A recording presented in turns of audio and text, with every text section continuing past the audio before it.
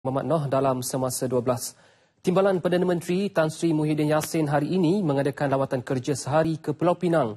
Timbalan Perdana Menteri tiba di lapangan terbang Tentera Udara di Raja Malaysia TUDM Butterworth kira-kira pukul 8.45 pagi. Tan Sri Muhyiddin memulakan tinjauan mesra dengan melawat pusat penjaja medan selera Jalan Tenggiri dan Pasar Awam Seberang Jaya sebaik tiba kira-kira pukul 9.05 minit pagi dan meluangkan masa kira-kira sejam eh, dengan bertemu peniaga pasar serta peniaga gerai makanan dan minuman di situ.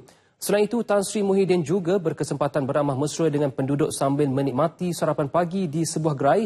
Antara menu sarapan pagi yang dinikmati Tan Sri Muhyiddin ialah roti jala, roti canai dan kuih muih tempatan.